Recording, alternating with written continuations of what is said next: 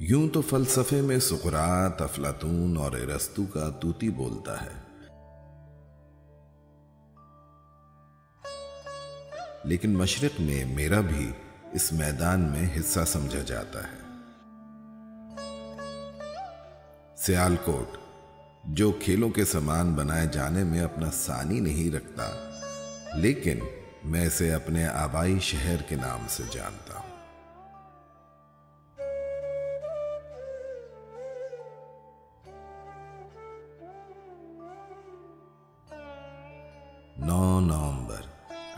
اٹھارہ سو ستتر میں میری زندگی کا سورج طلوع ہوا۔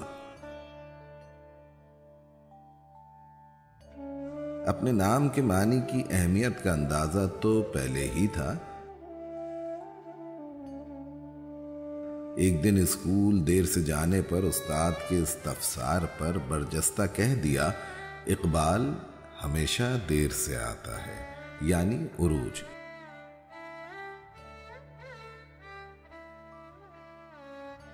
اس جملے کی گہرائی کا حقیقتاً احساس مجھے اس وقت ہوا جب ایک طویل محنت اور جد و جہد کے صبر آزما تجربوں سے گزرنا پڑا۔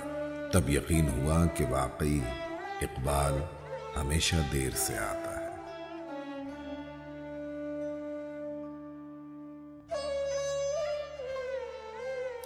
میں خودی کو انسان کی عظمت اور شاہین میں حوصلے کی بلندی تلاش کرتا ہوں۔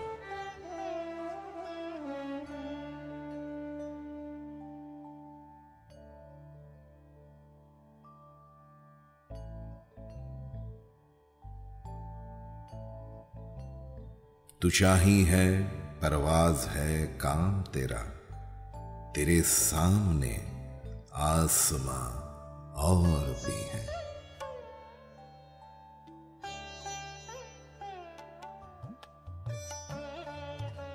گورنمنٹ کالج لاہور اور کیمبرج یونیورسٹی لندن سے گزر کر میونخ، جرمنی تک میرا تعلیمی سفر جاری رہا۔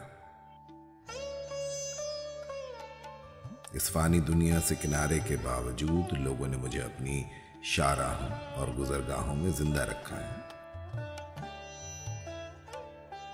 پھر چاہے وہ میرے مادر علمی شہر میونخ کی سڑک ہو یا پھر اسلامی سرزمین کویت ہو میری آپ سے ملاقات کویت کے فہابیل علاقے میں بھی ہو سکتی ہے۔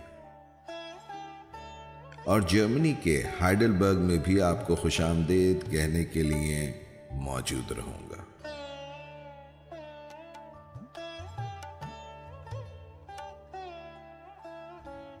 لوگ مجھے حکیم الامت، مفکر پاکستان اور مصور پاکستان کے نام سے جانتے ہیں۔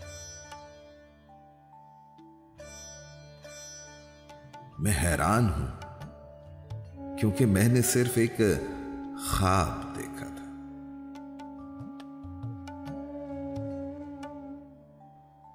جس میں آپ ہوں، میں ہوں، سکون ہو اور آزادی ہو۔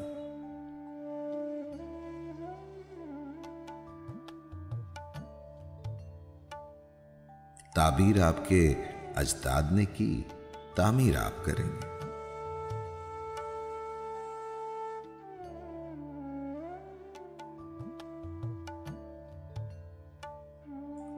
ہر سال نو نومبر کو آپ کے مباحثوں، سیمینار اور کانفرنسوں کا موضوع بنتا ہوں۔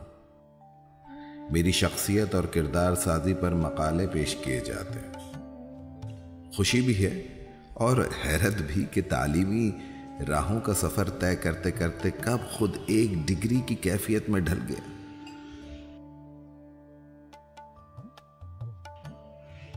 سنا ہے اقبالیات میں ڈاکٹریٹ کی ڈگری دی جاتی ہے۔ نہ جانے آپ میرے بارے میں کیا کھوجتے ہیں۔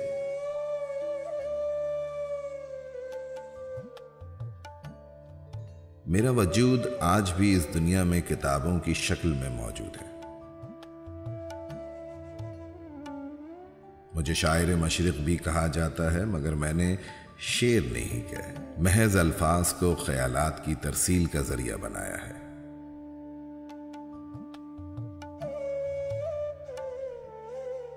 یہ خیال کبھی آپ کو اسرار خودی میں ملیں گے، تو کبھی بانگے درا میں۔ کبھی پیام مشرق میں، تو کبھی رموز بے خودی میں۔ آپ کو زیور مشرق میں بھی ملوں گا۔ یا پھر مجھے بال رائل میں بھی تلاش کیا جا سکتا ہے۔ ضرب کلیم علم اقتصاد اور ارمگن حجاز بھی میرے خیالات کی عکاس ہیں۔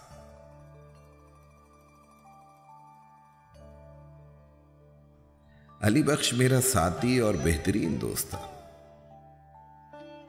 وہ جو کہتا تھا، سچ کہتا تھا۔ اسے کہتے سنا میں نے۔ وجد کی کیفیت میں کھو جاتا ہوں۔ درست، بالکل درست۔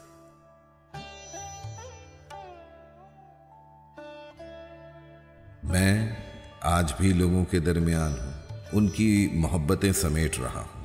اور یہ محبت مجھے Iqbal park Allama Iqbal international airport, Iqbal stadium.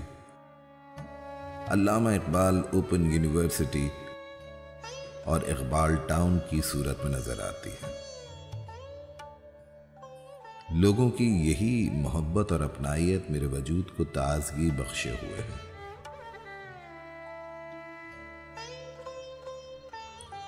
ویسے تو میں اکیس اپریل انیس سو اڑتیس سے بادشاہی مسجد اور شاہی قلعے کے درمیان مقبرہ اقبال میں آرام کر رہا ہوں۔ مگر رومی سے لازوال محبت مجھے استنبول میں موجود مقبرہ رومی کے احاطے میں تصوراتی قبر تک لے گئی۔ محبت نبھانے کا دنیا کا یہ انداز مجھے بہت بھایا۔ رومی کی یہ قربت تحفہ عظیم ہے۔ میں اب بھی ان سے فیض حاصل کرتا رہتا ہوں۔ فرق صرف یہ ہے، اس فلسفے کو آپ تک نہیں پہنچا سکتا۔ امیر الاسلام ہاشمی نے اقبال تیرے دیس کا کیا حال سناؤں میں مجھ سے کئی گلے کیے ہیں۔ میں انہیں بتانا چاہتا ہوں کہ شکوہ تو میں نے بھی کیا تھا، مگر بات جواب شکوہ پر ہی آ کر بنی۔